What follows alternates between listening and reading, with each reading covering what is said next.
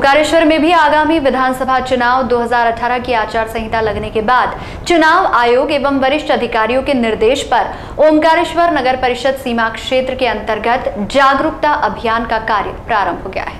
महिला बाल विकास विभाग के अंतर्गत सुपरवाइजर एवं कार्यकर्ताओं के द्वारा प्रमुख स्थानों एवं दीवारों पर मतदाताओं को अपने मत का उपयोग किस प्रकार करना चाहिए तथा मत देने का अधिकार मतदाताओं को है? इस अभियान के तहत जागरूकता अभियान संजय माता के माध्यम से दीवारों पर मतदान का संदेश दिया जा रहा है।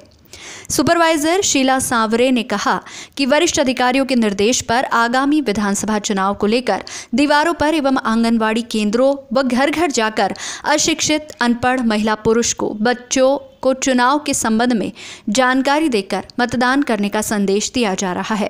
अधिकारियों के द्वारा आदेश मिले हैं कि पूरे मतलब क्षेत्र में हमको मतदान जागरूकता लाना है और सभी को बताना है कि हमको मतदान करना ज़रूरी है और हमारा अधिकार भी है।